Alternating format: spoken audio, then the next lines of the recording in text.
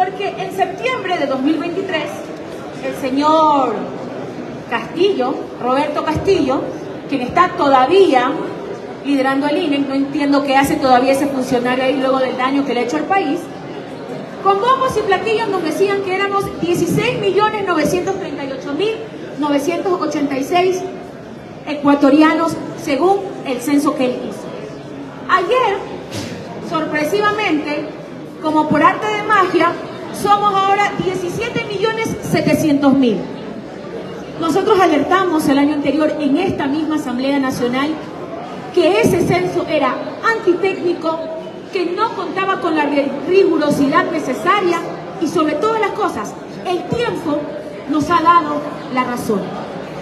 Por eso el día de hoy como bancada de la Revolución Ciudadana estamos dando esta rueda de prensa, porque justamente iniciamos esta fiscalización por la preocupación que tenían organizaciones afrodescendientes porque se pudiera perpetuar en el Ecuador un etnocidio estadístico, situación que ya ocurrió en Colombia y que tuvo una demanda del pueblo afrodescendiente ante el Estado ecuatoriano, ante el Estado colombiano, y teníamos exactamente esa misma preocupación en el país. Qué casualidad que en el 2021 el pueblo afroecuatoriano era de, era su representación poblacional era del 4,8%. En el 2010 pasamos a ser el 7,2% y en este censo somos el 4,9%. Es decir, que hemos vuelto al peso poblacional de hace 22 años atrás. ¿Tiene lógica? Por eso, el día de hoy vamos a retomar el debate para que la fiscalización que esta Asamblea Nacional inició en el periodo anterior se retome, pero que vaya a la Comisión de Garantías Constitucionales. Primero, porque no solamente se trata de la posibilidad de un genocidio estadístico.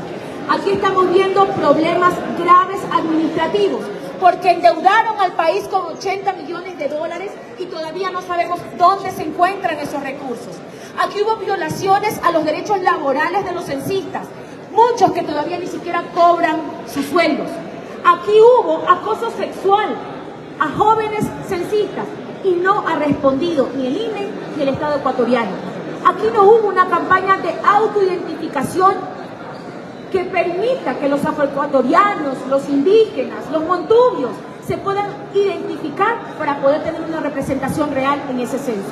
Pero lo más grave, y eso es lo que quiero alertar porque necesitamos que los medios de comunicación estén pendientes porque no vamos a permitir, y esto va también dirigido para el presidente de la República, que dicho sea de paso, fue legislador en el periodo anterior y votó en esa resolución que por unanimidad la Asamblea Nacional decidió fiscalizar.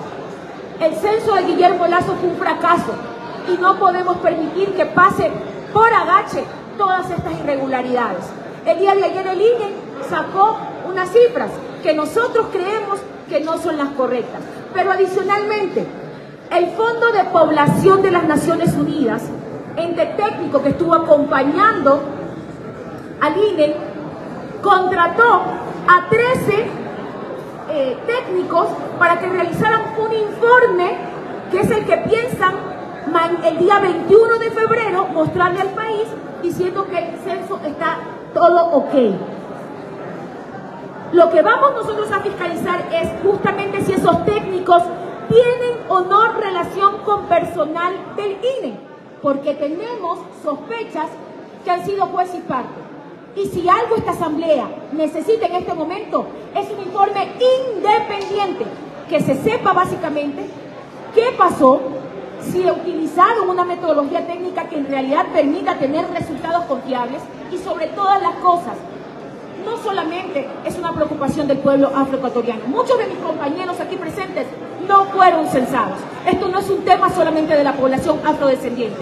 Es la preocupación de muchos de ustedes que mueven la cabeza y dicen, a mí no me censaron. Entonces ustedes no están representados en ese censo y lo que hoy necesitamos es que haya una respuesta de esta asamblea frente a la fiscalización, pero también hacer un llamado de atención al Estado, en este caso, a través del Ejecutivo, para que ponga atención. Y es más, Roberto Castillo no debería seguir siendo director del INE. No entendemos por qué no ha sido despedido un funcionario que le ha causado tanto daño al país y que tiene que responder a través de la fiscalización que realizaremos aquí en la Asamblea Nacional. Muchísimas gracias.